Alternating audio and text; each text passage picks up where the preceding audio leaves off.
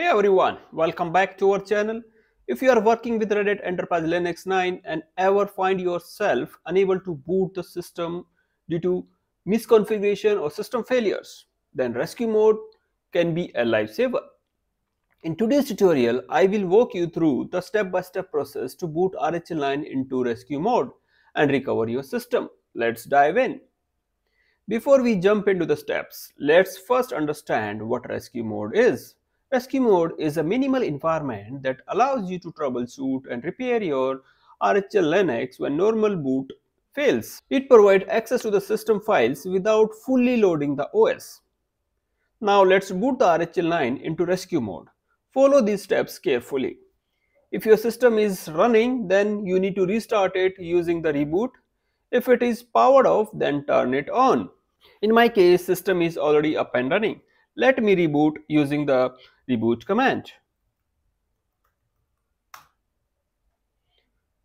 When the system boots up, press escape and shift arrow key repeatedly to bring up the grub menu. Now select the first entry and press E. Look for the line that starts with Linux. Go to the end of that line and add the parameter rd.break.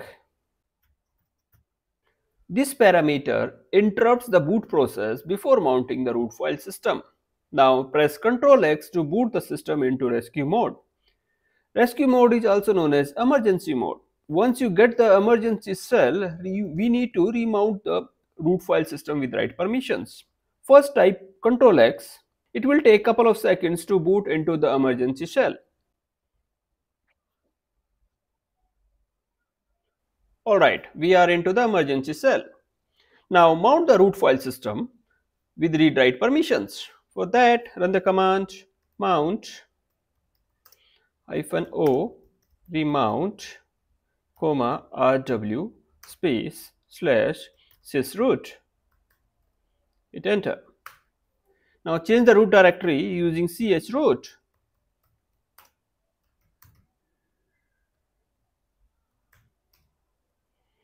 Hit enter. From here, you can reset the password, fix the system configuration or repair the boot issues. For example, let's say I want to reset the root password. Run the command passwd root. Enter the new password that you would like to set.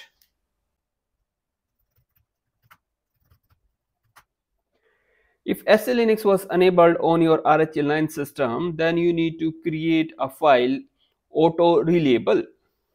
Run the command touch slash dot autorelabel. Hit enter.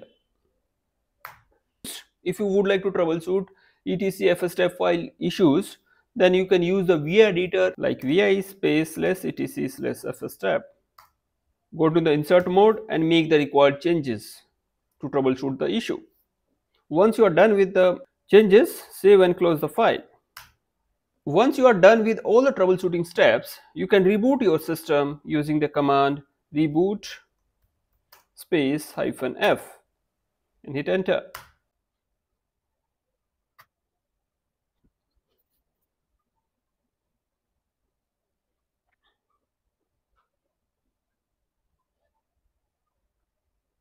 Now try to log in with the same root password that you have set it in the rescue mode.